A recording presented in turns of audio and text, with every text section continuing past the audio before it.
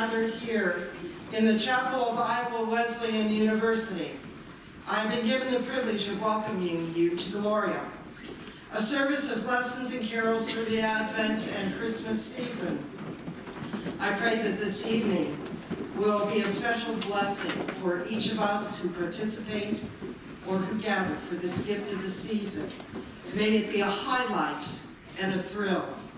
I also pray not to invite the Holy Spirit into this assembly of God's children, for God's grace-filled Spirit is always present and everywhere around. I pray for our welcome and acceptance of God, our recognition of God's actions and handiwork throughout history to this present day, and for our combined ability to offer the triune God, Father, Son, and Holy Spirit, glory and praise and gratitude for all that we have been given, for all that we are encouraged and able to do, and for all that we are.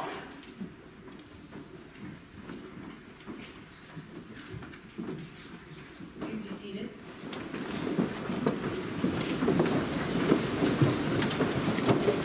Immediately following the program, you are all invited to a reception.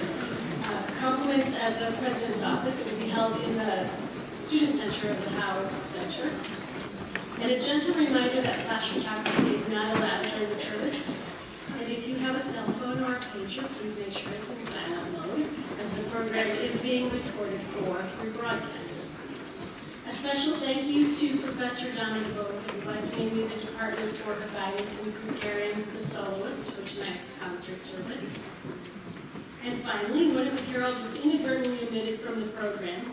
Immediately following the congregational carol, We Three Kings, the Sound Appeal Bell Choir will present two major carols arranged by Martha Lynn Thompson, featuring Miss Cindy Durrell on flute and Dr. Jason Edwards on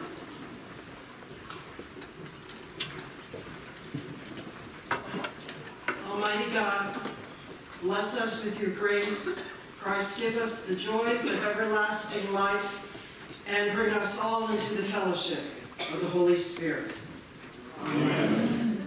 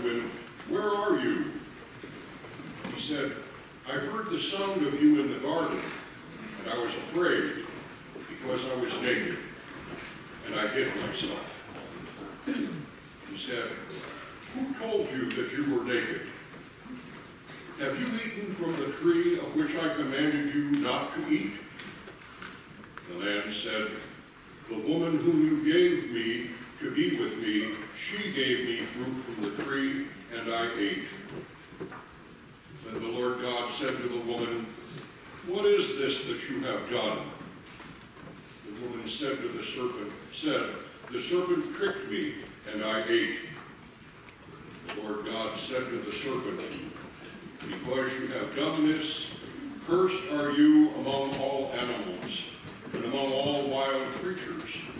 Upon your belly you shall go, and dust you shall eat all the days of your life. I will put enmity between you and the woman, and between your offspring and hers. He will strike your head, and you will strike his heel. And to the man he said, Because you have listened to the voice of your wife, and have eaten of the tree about which I commanded you, you shall not eat of it. Cursed is the ground because of you. In toil you shall eat of it all the days of your life. Thorns and thistles it shall bring forth for you, and you shall eat the plants of the field. By the sweat of your face you shall eat bread until you return to the ground, for out of it you were taken. You are dust, and to dust you shall return. Here ends the lesson.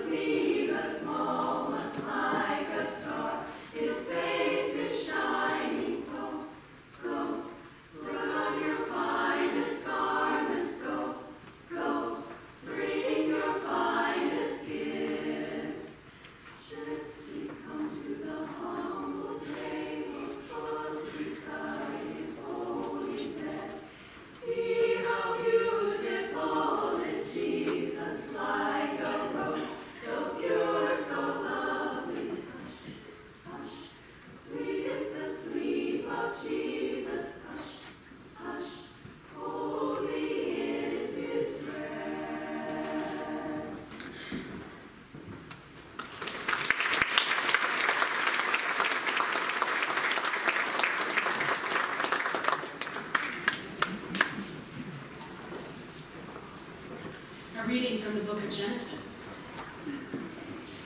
The angel of the Lord called to Abraham.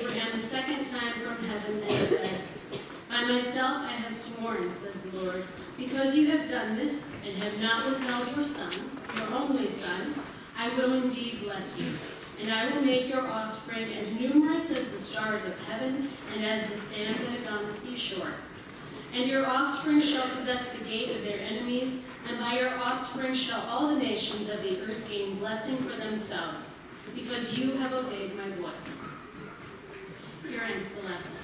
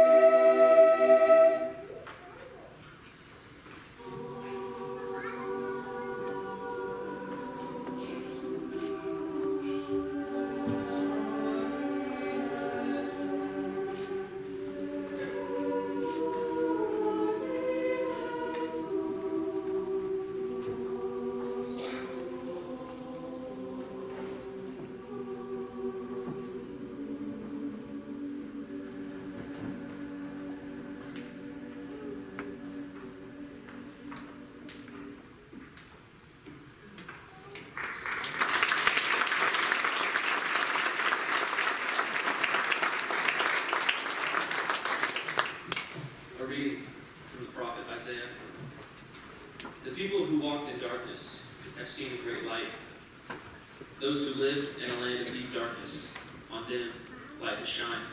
For a child has been born for us, a son given to us.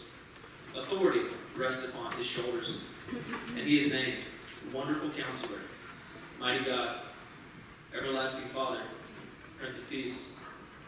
His authority shall grow continually, and there shall be endless peace for the throne of David and his kingdom. He will establish and uphold it with justice and with righteousness, from this time onward and forevermore.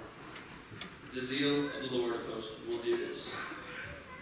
Here is the lesson.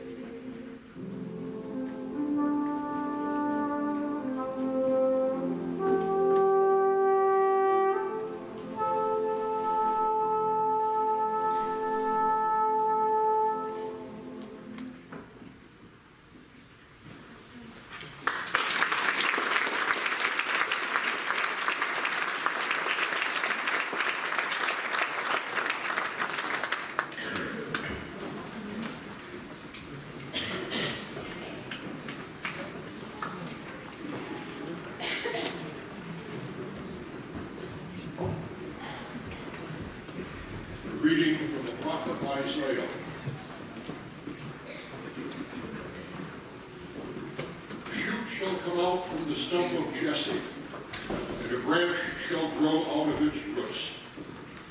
The Spirit of the Lord shall rest on him, the Spirit of wisdom and understanding, the Spirit of counsel and might, the Spirit of knowledge and the fear of the Lord. His delight shall be in the fear of the Lord. With righteousness he shall judge the poor and decide with equity for the meek of the earth. For the wolf shall love with the lamb, and the leopard shall lie down with the kid. The calf and the lion and the fatling together, and the little child shall lead them. The cow and the bear shall graze, their young shall lie down together. The lion shall eat straw like an ox. The nursing child shall play over the hole of the asp, and the weaned child shall put his hand on the adder's den. They will not hurt or destroy on all my holy mountain, for the earth will be full of the knowledge of the Lord as the waters cover the sea. Here ends the reading.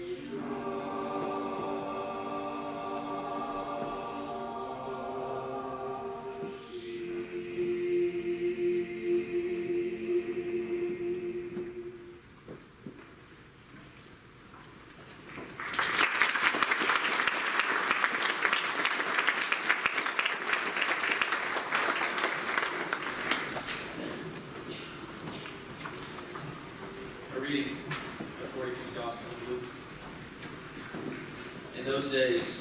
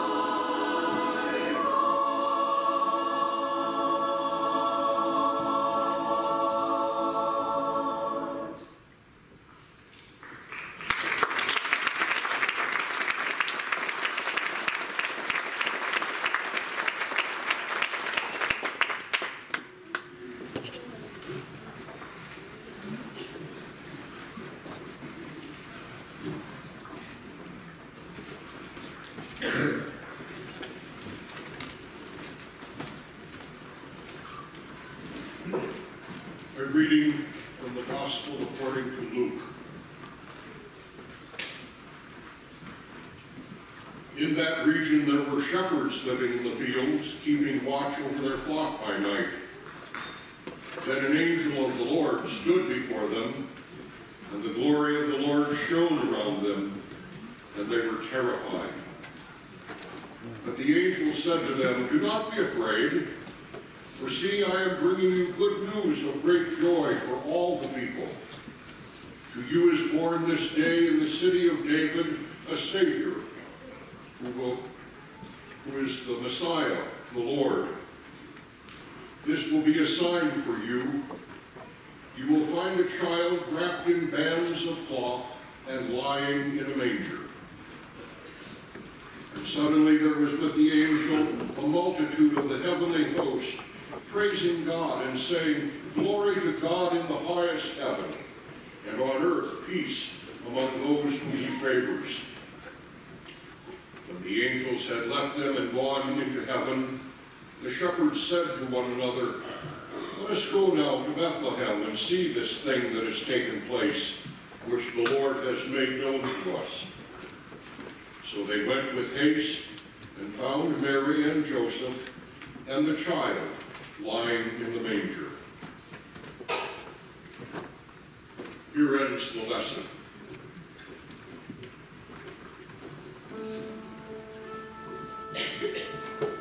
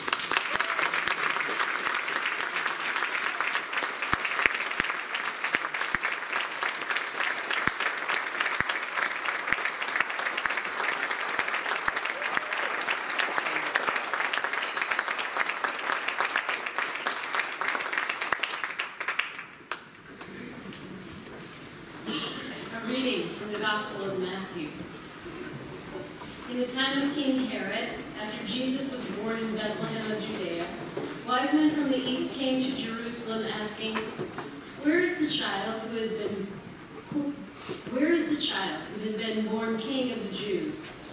For we observed his star at its rising and have come to pay him homage. When King Herod heard this, he was frightened, and all Jerusalem with him. And calling together all the chief priests and scribes of the people, he inquired of them where the Messiah was to be born. They told him, In Bethlehem of Judea, for so it has been written by the prophet. And you, Bethlehem, in the land of Judah, are by no means least among the rulers of Judah. For from you shall come a ruler who is to shepherd my people Israel.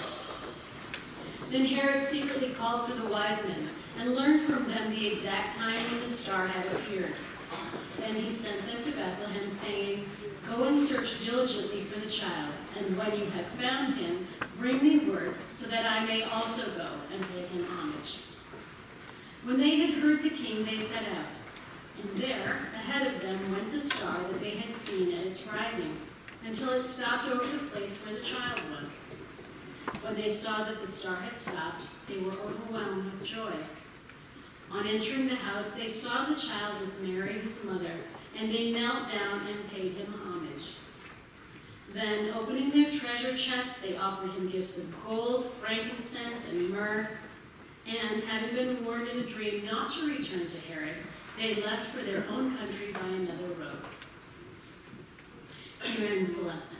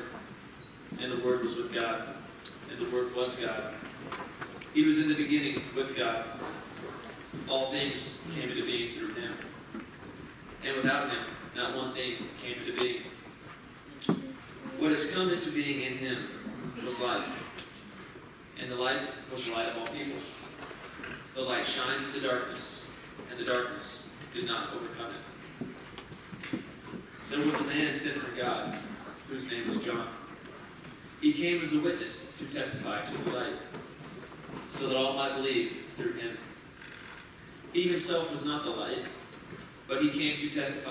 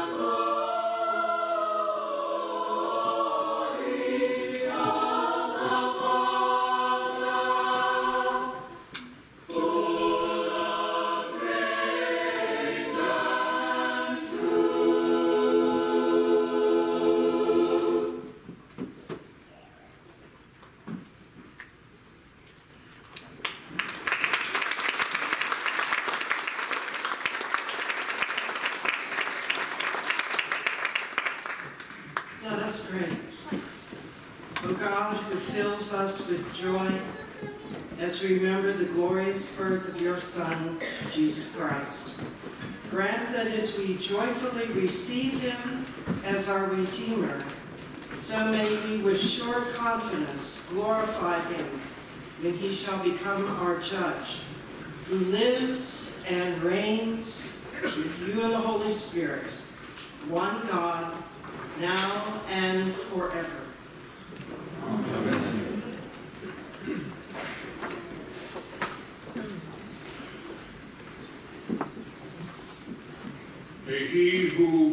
his incarnation gather into one things earthly and heavenly,